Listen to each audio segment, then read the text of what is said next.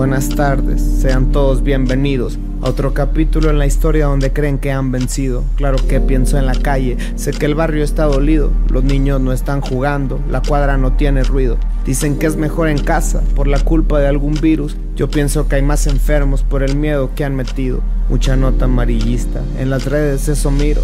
Pero el mundo siempre es sabio y le tocaba un buen respiro. Nadie quisiera ver muertes, menos de algún ser querido. Es momento de alejarnos, pero mantenerse unidos. Darnos palabras de aliento. Llama a todos tus amigos, diles que estaremos bien, que pronto de esta le salimos. Difícil quedarse en casa en el sistema que vivimos. Son clases de empatía, pero nunca lo aprendimos. Todos de frente lo vimos. Hoy toca sacar el pecho, darle gracias a la vida por la familia y un techo. Se rumoran fuertes crisis, también la falta de empleo. Se rumora el fin del mundo, que todo se pondrá feo. Todo eso que te cuento es lo que en las redes leo. Estamos más desinformados que informados por lo que veo. Es momento de pararse. Claro que yo tuve miedo, pero entonces solo piensa si ellos pueden, pues yo puedo. Les dejo este pensamiento, espero pueda motivarlos. Postdata, volveremos a abrazarnos.